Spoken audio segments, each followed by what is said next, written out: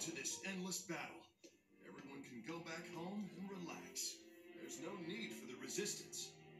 Hold on. There's still a lot we need to do. We're just getting started. Hmm. Huh? What, you're leaving us? There are others who need your help. But okay, I'm not gonna stop you. Man, the first time I saw you stumbling around, changed my mind about you. I knew you'd come through, rookie. Well, I guess you're not a rookie anymore. You did good out there.